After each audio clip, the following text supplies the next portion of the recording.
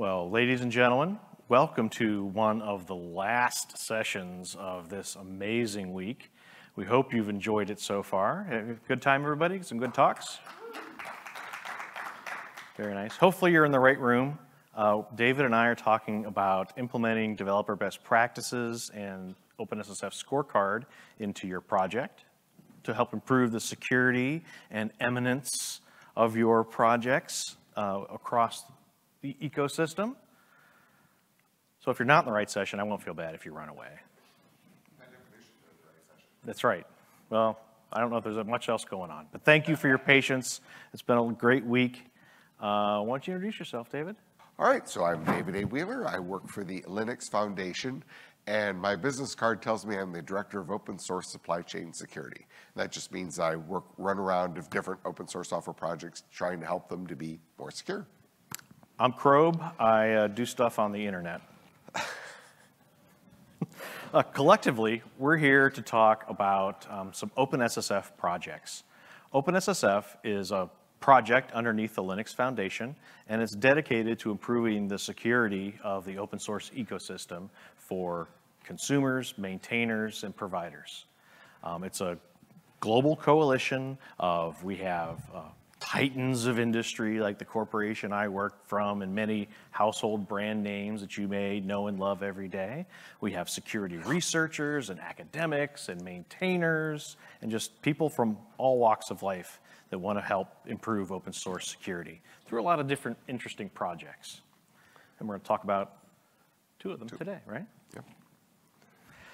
This is, if you care, how the uh, foundation is laid out. We have several working groups. Um, David and I both work with the best working group, which is focused on developers. Um, but there are many others. There's a vulnerability disclosures working group. There's identifying security threats. There's a security tooling working group, a supply chain integrity working group, uh, securing critical projects, securing software repositories, and an end users working group. So if you're interested in participating, there's a lot of different projects and SIGs and working groups that you could come and listen and learn, or potentially, you know, donate your expertise and participate in those conversations. And I got the awesome little purple box. That's us.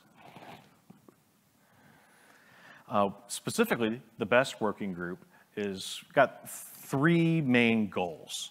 Uh, we want to identify uh, good practice and good tools to help developers learn and do secure coding the right way. We want uh, we provide resources to learn, so we have a, a class that uh, teaches developers uh, secure coding princi principles and fundamentals and techniques. We also have a hands-on lab tool called uh, Security Knowledge Framework. So if you learn about SQL injection in David's awesome uh, security fundamentals class, you can go to SKF and go through some labs to practice what you learned. Pretty neat.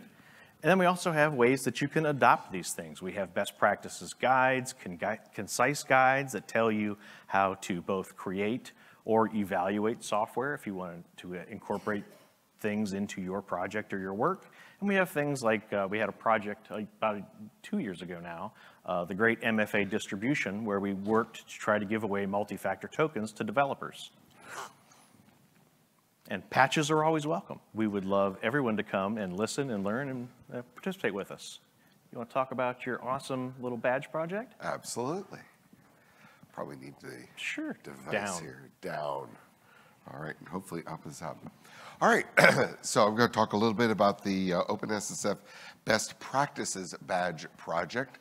Uh, and the idea here is that if you are running an open, a, an open source software project, uh, you can work on achieving a badge and uh, that shows, hey, you are, are, are, you are performing best practices that hopefully will lead to more secure software, uh, you know, uh, more uh, better quality software. And it's based on the on the various practices of various well-run projects.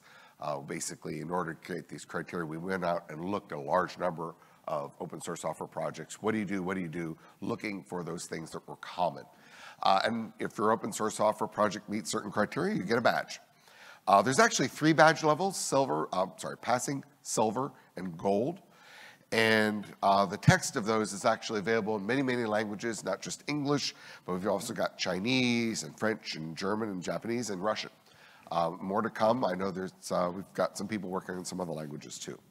Um, we have over, five, over 5,600 participating projects, over 1,000 are passing. And the badge is a great way to illustrate that you understand security concepts, you are doing security the right way. So if you're looking to kind of increase your prominence within the community or persuade downstream that you are doing things the right way. Yep, yep. And this uh, shows that over time, we've got increasingly more and more projects are participating, and these are various, at various percentage levels where, again, over time, more and more people are achieving uh, passing badges. Uh, I'm not going to go through all the criteria in the best practices badge. Uh, so instead, I just want to point out you know, how, how we figured out the criteria. They have to be relevant, attainable, clear, you know, consensus of developers and users. Uh, we do not require any particular technology. So uh, we are absolutely doing our best to be technology neutral. Uh, it, we do not require proprietary software there's no problem if you have an open source software project that plugs into proprietary, uses proprietary. We don't require it though. Doesn't cost anything. We don't take over your project. Okay, we're not going to require everyone to do everything immediately. I'm going to come back to that last point in particular. Uh, and like any set of criteria, you know, words matter. Um, if, if, anyone here has read any um, IETF RFCs, a lot of these text, terms will look really familiar. The musts of must not you must do those or must not do those things. Shouldn't, should not, normally you should be doing those things. Um, we also have another category called suggested, and these are where this is a good idea, but there's also a lot of cases where, in fact, there's reasons you shouldn't. And so we suggest it, we want you to think about it. It's okay if you don't do those. Uh, but we do find that uh, people, uh, uh we do find it helpful to identify those I mentioned earlier, passing, silver, gold. Let me talk more about those. Uh, passing is, is kind of those basics, fundamentals, focuses on the best practices that applies to um, everybody. And interestingly enough, even though each of those criteria are generally widely applied by open source software projects, it's still an achievement to get a passing badge mm -hmm. for the simple reason that it turns out that if you get a number of criteria, each of which are widely applied, everyone agrees on them, when you say, and you have to do them all, actual projects find, oh, we missed one. And that's okay. Okay, that means that you're learning something, you're getting something where, oh yeah, we should do that too. You do that, congratulations, you have a badge, and that means that you know projects which have achieved a passing badge, you know, are showing that they are they're having a real accomplishment. Uh, silver is a more stringent set. Um, we have rigged it specifically to be doable by uh, single person projects because a lot of open source software projects are single person. Most. So, yeah. Uh, so we want to make sure that's possible to, to uh, go for more stringent measures. And finally, gold is where we say, okay, you know, we're going to add things that you have to have multiple people. Uh, basically, things like you know, if, if someone dies or becomes incapacitated, the project needs to keep going. Those are pretty, from a user point of view, those are very desirable. It's hard to do that as a single person project. Um, but nevertheless, it's uh, a very, very good thing to, uh, to achieve the goal ones. David, I have a question. Ah. If I go through with my project and earn a badge, yeah. where can I show it off? Ah, an excellent case. Well, the, the best answer is make sure you put it on your project page. Yes. And we, I will show them, but basically you can include it right on your README. It'll automatically show up if you're, if you show up on the GitHub or GitLab pages. And a lot of projects have their own websites and they also include the badges uh, there as well. So we very much include a mechanism so you can quickly uh, uh, put that in there and, and, and basically show off what you've achieved. Awesome. All right, uh, let's see here. So here are the basic, uh, here's some examples. Basically, we went out to various open source projects. Uh, hey, what are you doing? That really seems to help. We put, once we found those, we put them into various criteria. For time, I'm gonna skip ahead a little bit, uh, but we'll come through some of these.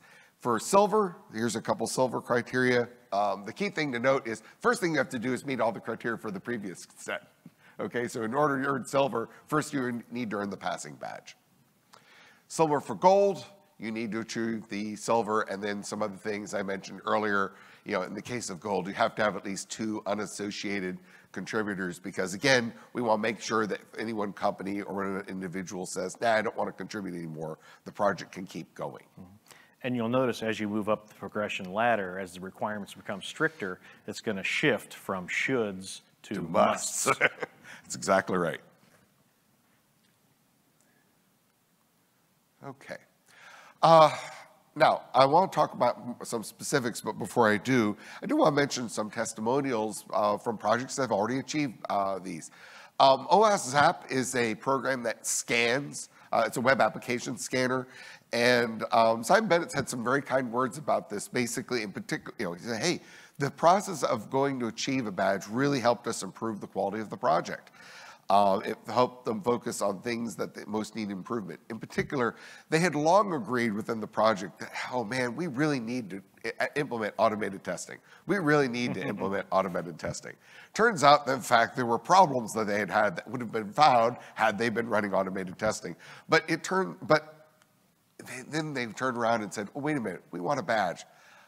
Oh, we have to do that. Okay. And now that once they finally did what they knew they needed to do, but just it was it was hard to get over that initial they're really glad they did. And I think that's an experience that a lot of other projects have uh, found as well. Um, CommonMark for uh, and uh, JSON for modern C++ or other projects, which again, uh, in the process of ach achieving a badge, they notice, oh, we missed some things, we'll go fix them, and they're glad they did.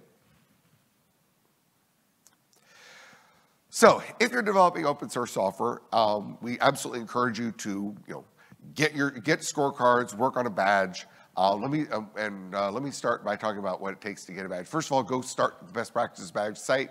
Uh, all you need to do to start is click on get your badge, enter the URL of the repo, and go get started um, uh, for your project. Uh, the system automatically analyzes and tries to fill in a lot of things where it can. Uh, automated tools are always, you know, there are things they don't notice. There's always imperfections. Nevertheless, we do try to fill in the information for you. And then after that, there's a, basically it's a form and you fill in and change what, whatever. I would in particular focus on the passing badge level first. I know some people, oh, there's a gold badge. I'm gonna get that right away. No, start, start square one, okay? Square three is wonderful. Start the first step. Work on that and then, then go back. Uh, don't worry about silver and gold until after you've got the passing badge. If you have any questions, there's a little details button. And if you don't remember anything else, but you're interested in the badge, go remember, click on the details button whenever you've got a question. It will give you, well, details. What exactly do we mean by that? How might you achieve that? Okay?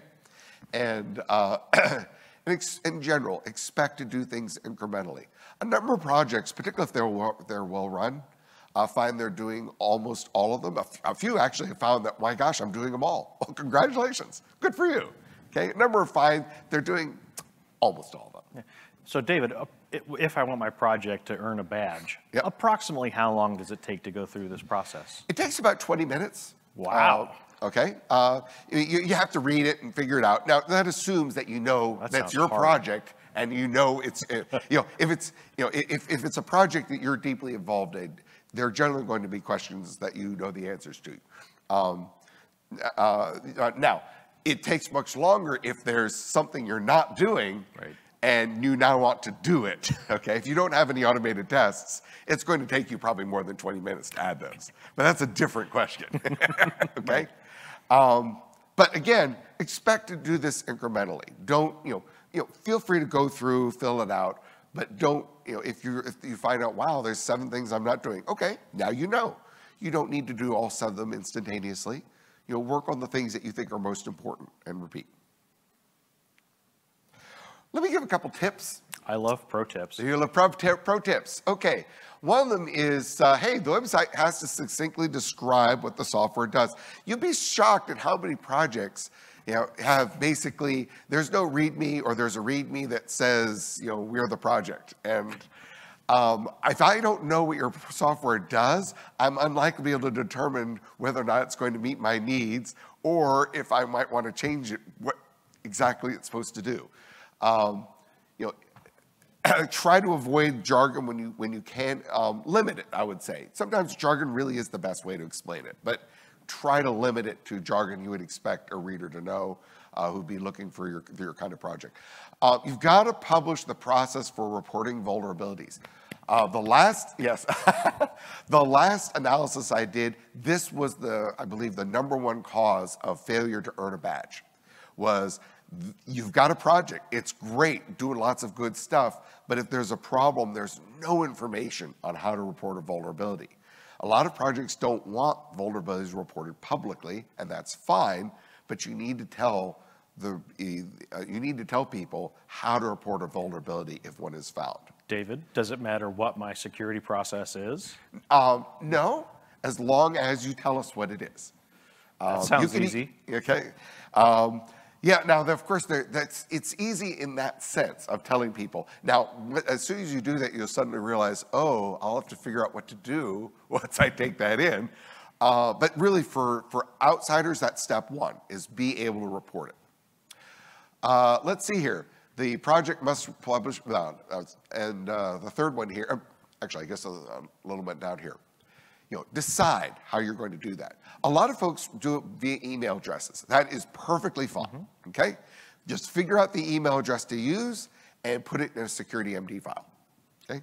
If you want to use uh, GitHub's private reporting mechanism, which is a new mechanism GitHub's put out, great, a very helpful technique. Tell people that, you know, make, enable that, tell people to use that. But please tell people how to do it.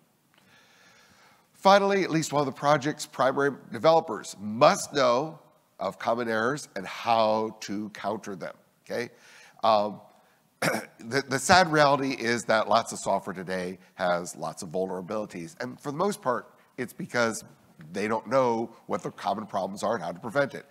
Uh, if you don't know any of that, there's a free course from OpenSSF. Go take that. You don't have to take that course, okay? We just want you to know what most common problems are and how to prevent them so that as you're writing the code, you prevent them.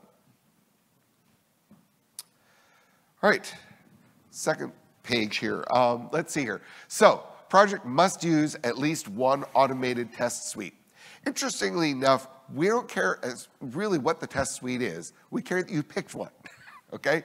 Pick how you're going to test it automatically and start using it. Um, because once you've picked one, once you've made that decision, once you've started, you have now started down the path. Mm -hmm. uh, and more generally, the project needs to have a policy of adding new tests as you add new functionality. You'll notice that we don't, at the passing level, have some sort of you know, criterion like 80% coverage or anything like that. Uh, this is quite intentional. The goal in, at the passing level is you're on the right trajectory. You have tests, you're adding them as you go. That will get you on the right direction. And uh, finally, you've got at least one static analysis tool that's being applied. Again, we don't mandate any particular tool. In fact, there are lots of different tools. They're good for different circumstances. The goal from, from the, uh, for the passing badge is you've picked at least one. Uh, frankly, more is good, but at least one. And I want to emphasize a real difference in terms of application. Uh, if you're starting a new project, you know, if you have no lines of code and you know everything is new, um, absolutely, when you when you turn on those tools, turn them on maximally, make them complain a lot, okay? Because you'll quickly learn, oh, this is a dangerous construct, use this other thing instead, and that sort of thing, and that's wonderful. If it's an existing project, what's often called a brownfield project, don't do that. And the reason is, if you turn, uh, if you start these tools and you turn on all the options, what you'll find out is that for every line of code, you have 20 reports, and you know you have 50,000, 100,000 reports, 200,000 reports. There's no way you can deal with that. Okay. Um, and instead, what you really need to do is narrow it down to what's most important, get a few warnings, fix those, and then slowly burn them down because it's just not practical to try to handle everything at once. It doesn't really make any sense. Work, identify the highest priority, work that, repeat. All right, future directions. Um, eventually, we do plan to move the website to bestpractices.dev. Um, and, um, and eventually move the, uh, the source code repository under OpenSSF. This was originally started under uh, a different uh, uh foundation. Um, We do intend to keep improving the automation, always looking for more and better criteria, more human languages, and various code cleanups. And with that, I shall hand it to you to talk about Oh, scorecard. man. So David's uh, badges project has existed for many years. How many? At least five? Yeah, five-ish or more years, It- and it's a great resource. But, you know, as we have uh, progressed, and with the speed of things these days, we have an alternative, actually complementary uh, piece of software that adds some more automation to this kind of auditing and review process. That's the OpenSSF scorecard. And uh, again, uh, best practices badge is actually part of the criteria that the uh, scorecard uses in its evaluation, but um, it is a, a lot more extensive and is looking for more um, automated evidence of things. So uh, the scorecard goes through its battery of checks, and it automatically scores projects based off of these uh, security heuristics. Every one of these attributes is scored between 0 and 10, and um, you can kind of evaluate either your own project, or you can, if you are looking to consume software, you can uh, use this to remotely view certain attributes of projects. Uh, Currently, this only works within uh, the GitHub source code management system. And if anyone is in alternate source code systems and is interested in using this, uh, patches are welcome to get that code working over there. Um, and what this does, it gives you an aggregate score. There are scores in different areas, and it provides you ideas for improvement. And uh, this, this group is, uh, I wouldn't say a huge team, but we've got at least a half dozen, eight people, and a lot of major corporations contributing to this. So there's a lot of new features and uh, functionality added. Uh, we just recently uh, added a, uh, REST API to be able to get the results because it used to just be uh, kind of like a cron job and dumped out a text file. Um, but now we got an awesome API. Yay, modern development. And uh, sometimes you'll see it referred to as the scorecards, but the proper name is scorecard. But if you see scorecards, don't get too angry. So here are some of the checks that it goes through. And broadly, it does a security risk assessment. So it's looking at binary artifacts, branch protection, do, are you doing code review? How many contributors do you have? Do you see any dangerous workflows? Um, then it looks at a section called maintenance, and it's looking about, um, you know, do you have any kind of dependency updating? How are you updating your dependencies? What's your license? Um, how often is it, are they seeing commits? Is it considered maintained? Do you have any commits within the last 90 days or so? And do you have a security policy? Which again, you know, David already mentioned. If you're doing score the badges, you're already qualifying for the uh, scorecard. Um, there's some continuous verification, some testing checks. It's going through your CI tests, fuzzing, do you have static analysis? And then um, we go in and look at a build risk assessment. You know, do you pin your dependencies? Uh, you know, what are you doing around packaging? Are you signing your releases? Do you, are you using uh, token permissions? Do you have webhooks? So this automatically goes out and probes your re- repository and collects this information. Then it does a vulnerability scan. So what vulnerabilities do you have? And it uses the uh, open source vulnerability schema. It's another project within the foundation. It's uh, kind of like a companion to the CVE database. So are there any known vulns in your code? And it'll report back if it finds anything. And then it looks at um, the best practices badge and you get an awesome uh, best practices score. Now, this uh, project, this was, was um, David's was one of the first projects that entered into the best working group, and Scorecard came on during our first year of operation within the foundation, and has received um, a, a lot of attention, a lot of uh, new contributors, but also a lot of uh, external views. This is something, you know, Sonatype cited it as part of their State of the Software uh, Security Supply Chain Report. And you can see they found some correlations. So based off of those checks that Scorecard is using, they see that, you know, if you don't have code review or a peer review process, you are more likely to have vulnerabilities in your code. Um, if you check in binaries, this is an attack path. It decreases transparency and reduces audibility, so you're going to get dinged on a score there. And again, Sonatype has found that this leads to more problems down the road.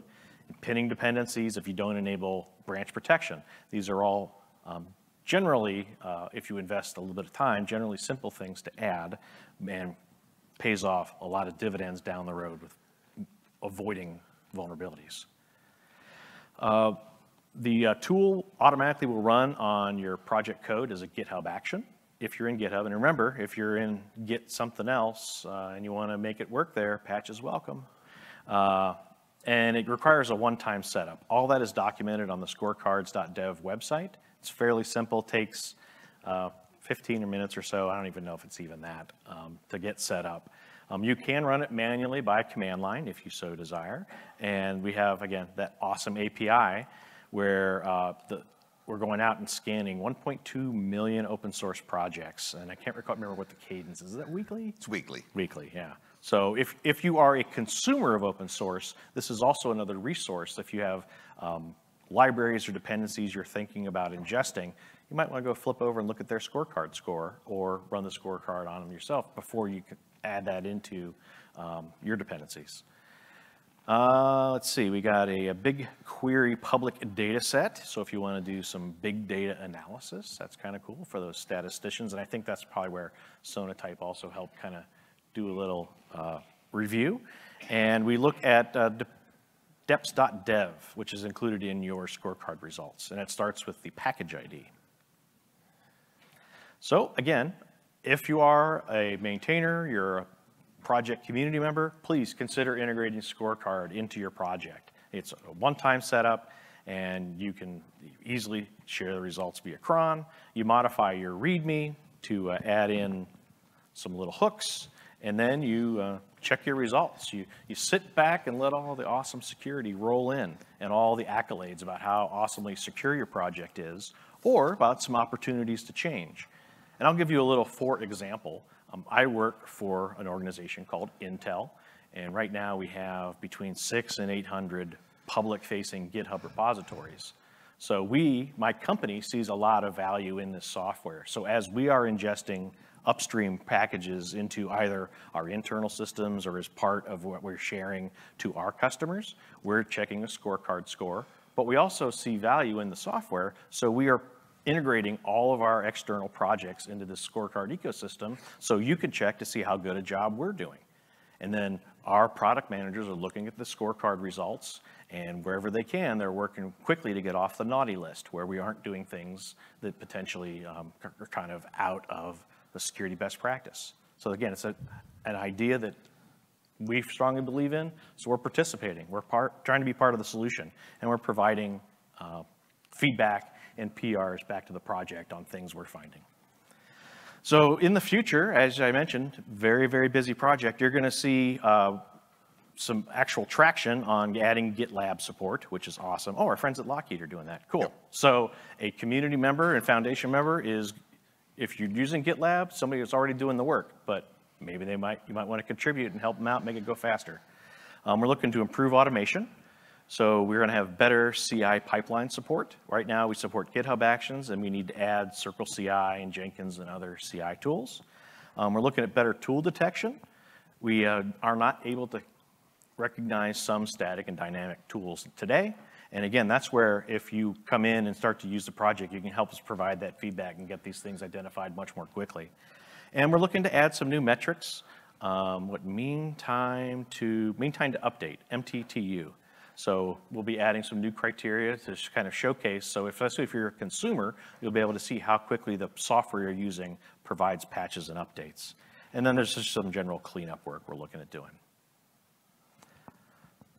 You want to know? It's your new friend. yeah, why not?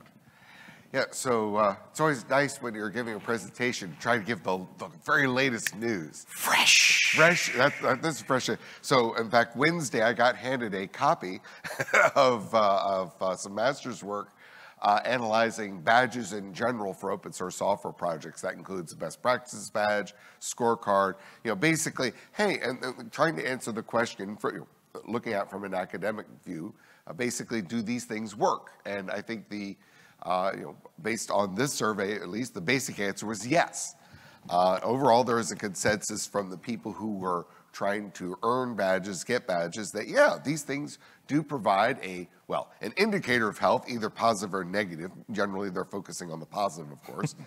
um, but, and that uh, the folks who are creating these ba- uh, you know, badges, um, say, hey, their goal is to help improve the health of open source projects. And you know what? The open source software project maintainers agree that, that yeah, that, that's a goal and that's also their goal and uh, very much uh, consistent.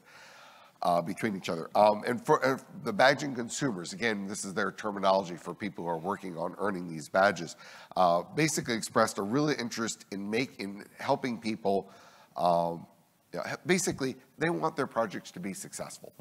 And uh, they view badges as a way to help them be successful because they want to show that they actually care about the quality of the results and increase the likelihood that people will want to participate. And because people who want to use the software, people who want to possibly contribute, want to know that they're uh, working with a project that is more likely to be sustainable, produce good results, and badges really do help. Indeed. All right, so let's see here. So I guess either one of us. Yeah, can- please. All right, I've, I've got, I'm over here, so. You have the All right, uh, so uh, basically, we're, we're really encouraging, if you're considering using open source software as a dependency, look for a badge, look for scorecards.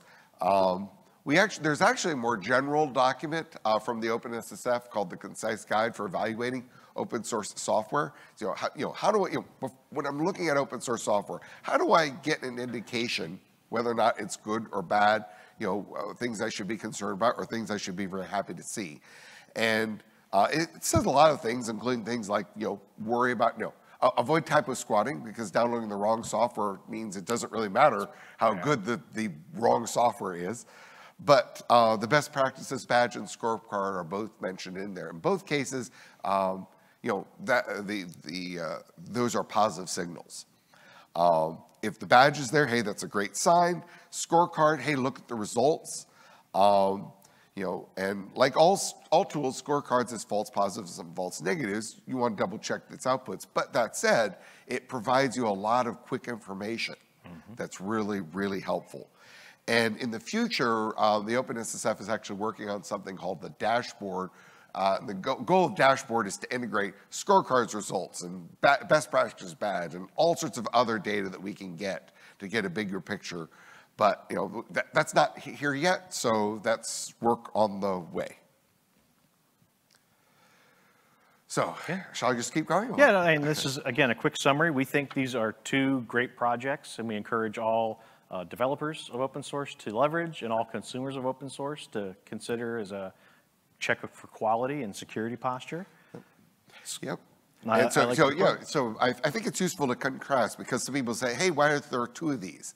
Uh, why not just merge into one? Well, each of them has their pros and cons. Um, the big pro of a scorecard is that projects don't need to participate, which means if you are just evaluating some open source software, you can run the scorecard on it yourself. Mm-hmm. And we we already run it for you on a- at least weekly basis for over a million projects.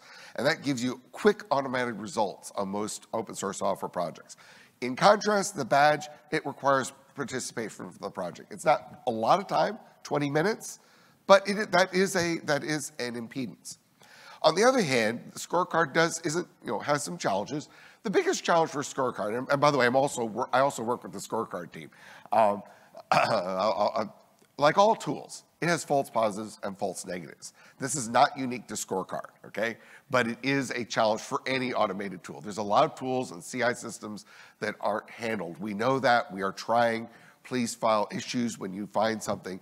But it, scorecard's trying to do something very hard. It turns out that there's a million different ways. I'm being a little facetious, but there's a very large number of ways of doing things. And trying to detect all of them is actually quite challenging, okay, in an automated fashion.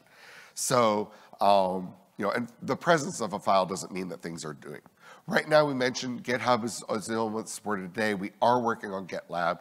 We do want to add more. I mean, we are aware of, you know, many folks that Other use. Bitbucket. There's many folks who self-host. We got that. Um, we're working on extending that. Um, in contrast, the best practices badge, because it uses human analysis, it's not as fooled by the tool stuff. um, and we can work with any forge. Uh, but and and we can put have criteria that we don't have any idea of what's being automated. Uh, we can't. We have no idea how to automate. But the problem, of course, is now you need much more participation, and so the combination, frankly, um, is really really helpful. Um, and indeed, one of the scorecard criteria is, hey, how about the match? so you know, they're actually not independent. Um, and my phrase that I'm, I'm, I'm claiming is that uh, they work together like chocolate and peanut, peanut butter. Yum.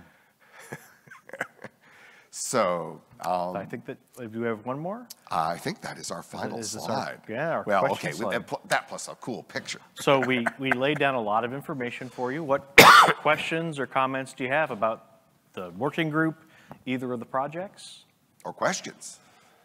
So from a from a user's perspective, that looks at an open source project, what can I expect? Like there'll be the badge and then I click on that and get into workflows to Right. show that it's not just a random gift. It- That's right. In both cases, actually, uh, what we encourage people to do is if you are working on a best practices badge, you stick that in your README. If you've got a scorecard result, you stick that in your README. And in both of them, you'll see a, a short little summary, and then you click on it, and yes, and then you get the details. That's, that's exactly right. Um, I'm sorry? It's fake proof in that way that it needs to go over to your website. Right, right. Um, and I haven't gone into these things, but both, I mean, fake proof is hard in the broad scheme, okay? Yes, exactly, okay. I mean, scorecard is automated, and so it has, it, it, it will, it won't be, it will be fooled only in the sense that you put something in there that fools its automation system. Um, same for best practices badge. It has some automation to detect certain things and will reject some false answers. Uh, but that said, um, I think in both cases, frankly, at some point, you know, if you see something that's it got it wrong, but you, you can understand it's an error, please let us know. File an issue, we'll try to fix it. If someone's being malicious and trying to actually maliciously fool, please let us know. Um, it's a little more complicated for scorecard, but for best practices, we actually just kick them out. And as a follow-up, do either project kind of list what, who is qualified or who is currently under the scan?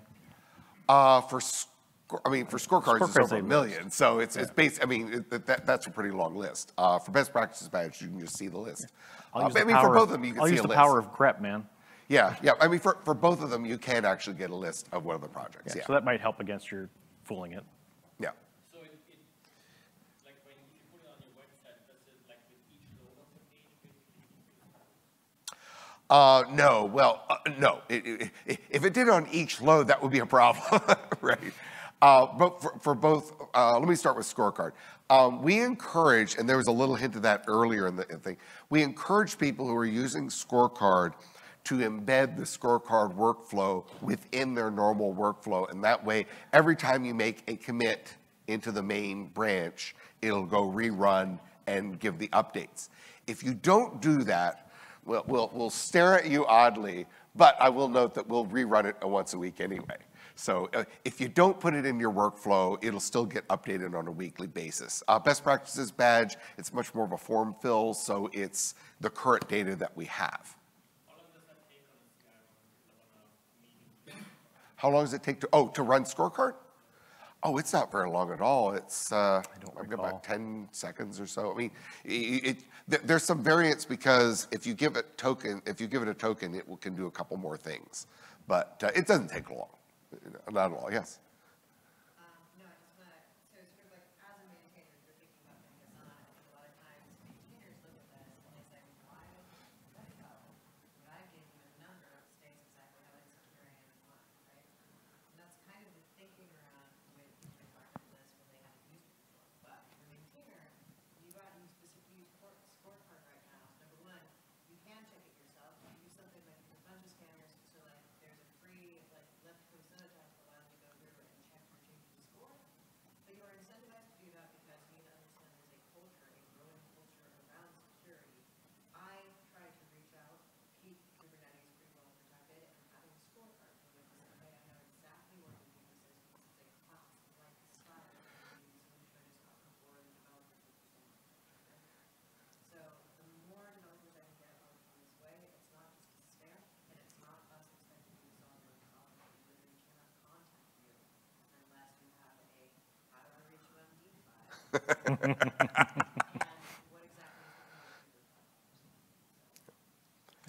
Yeah, I, I think in general, I mean, really, in general, the op- open source software is very much focused on transparency. You know, let, let's, and it, and it's okay that hey, I'm doing a lot of good things, but this is where I'm falling down. Fine, we uh, now all know that, and and I find often maintainers, oh, that's actually a good idea. We'll get on that once they're made aware of it. And I'll say for both efforts, before we go to your question, uh, both projects actively work with people that are interested in participating in the process. And we will provide you you know, resources to like, you should look into this or do that. And uh, the scorecards team especially, they have a Slack channel and they are very responsive to pinging there and then uh, filing issues and PRs and whatnot.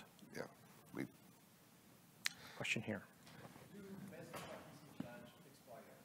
Do I need to rerun that on a regular basis? Um, they don't expire in one sense, but they can expire in a different sense. And that's, of course, if, if you're failing to meet something that uh, used to, you used to meet and it can be automatically detected, then it might uh, expire. Uh, the other expiration possibility is when we add new, new criteria. We haven't added new criteria for a while um, primarily because um, the new criteria, um, we've been actually focused much more on just trying to get people to get passing badges. We want people to get silver, we want people to get gold. We definitely have talked about adding new criteria. But right now, the theory has been, oh my gosh, if you can't get the current passing badge into the existing criteria, you're, you're the higher risk, and so we want to work on that. Um, so it, it, it is possible right now, um, where our focus has been more on trying to get people up to that bar. What was the concern about uh, not updating the badge based off of a new revision or new practices, or the fact that maybe somebody, it- it- that it never goes stale?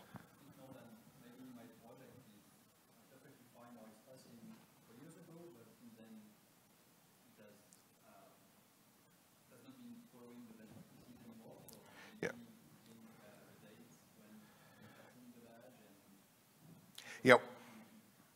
reassess what the requirements are. We do, we do record when, when the badge, when, when various criteria were done.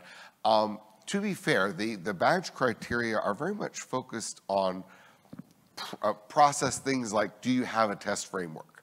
Are you working to, to improve tests over time? As opposed to, you know, do you have, well, at, uh, at least at the passing level, uh, as opposed to things like, have you met a certain coverage criteria? And so as long as those processes continue, even if the project is no longer as active, as long as they continue to keep that, it's still okay. Um, But, I mean, the- the issue is when all of a sudden that is no longer true, then yes, they can, that- a badge can do- go away. Yes, or, uh, how's this, no longer meet, be met. So quick question, when you run the scorecard on a project that's out there, so you want to find out what the score is. Yes. Is that something you're just consuming yourself, or once you run the scorecard on a project, does it somehow end up on a page, you know, on the SSF? Right, okay, It's not gonna end up in that repo because you don't have mid status there. That, that's exactly right. So, um, so uh, let me split that. A great question. Let me answer it in parts, and I, hopefully my answer will make sense. We released the code of scorecard that you can download and run yourself. If you download it and run it yourself, it will acquire data, and you say, "Hey, go evaluate this project." It will download the data from that project, from, in this case, from right now, currently GitHub, eventually others too, to your local system and do the analysis and give you the report. That report is local to you. It goes nowhere else.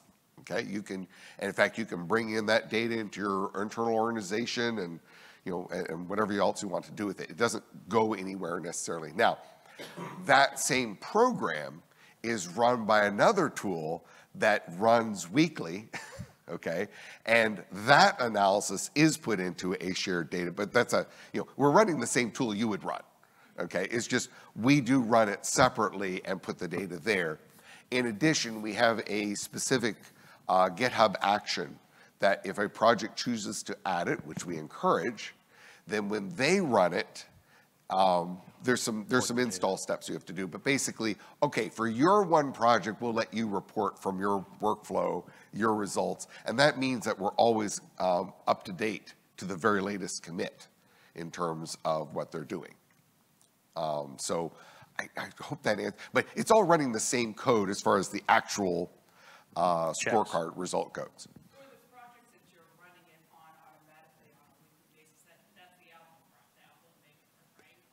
Uh, well, actually, no, that's just an input to Alpha Omega. That, uh, the Alpha Omega then uses that among other data, but that's not, that, that's a separate project. Okay, so, so this is something completely separate, the projects you pick to run the. Uh, right, right. I mean, pre- completely separate. Uh, sep- completely separate is probably a little not quite right, but uh, uh, we certainly wanted to hear from Alpha Omega. If, if they cared, we care. okay. There's a ba- basically we tried to make sure that projects that somebody cared about were in that list. How's that? Is that a fair for for for lo- a long list of someone's? Sure. Uh, who's, This gentleman was first and then over here. Okay. Yeah, go ahead. I think like a once a year recertification would help because like in, a- for example, one of the projects I work in, we have a renewed focus on security or I should say that, we've got a renewed working group looking at it, it's like, hey, we should go get the badge. We already have it. Totally new. Like in some operators done that many, many years ago. Okay. The interesting thing is when we go through, there's some things that we actually do, but like nobody would have known that we have that tool running in support necessarily of the badge. And so we could just have decided, ah, we're not doing that. So the, having, having some interval where like the project actually has to remember that they have this and look at the questions would actually be a good thing.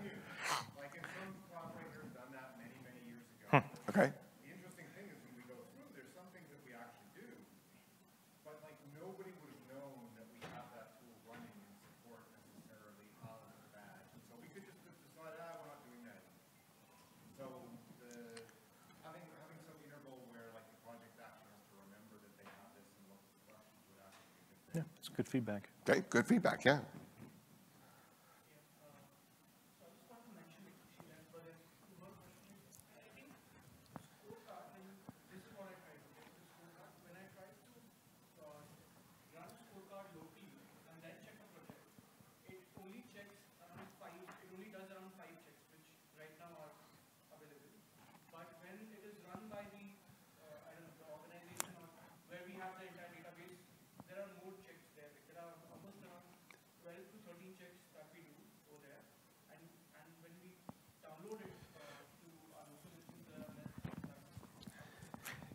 Correct. When the project elects to participate or was selected, we worked out, so there's a security token that we need to be able to run some of those checks. Yeah. And you, as an external party, don't have access to that private.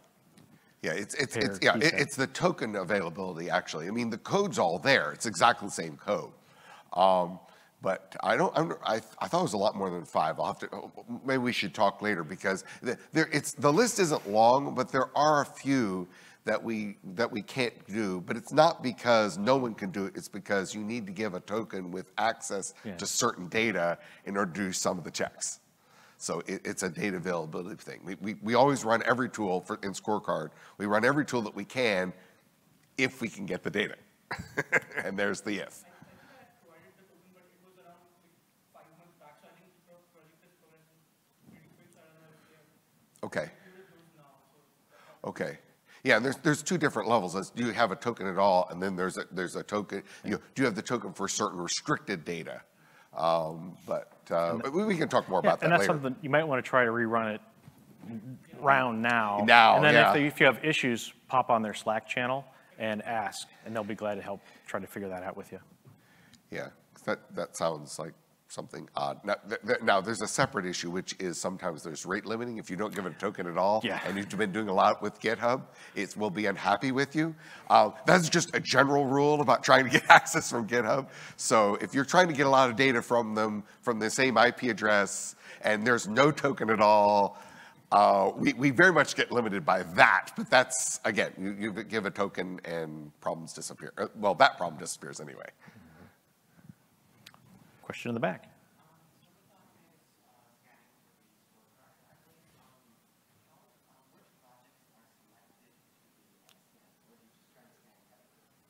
Ah, that was actually similar to the question earlier, which, which, uh, so we have a, a long list. Uh, okay, there's a weekly scan list.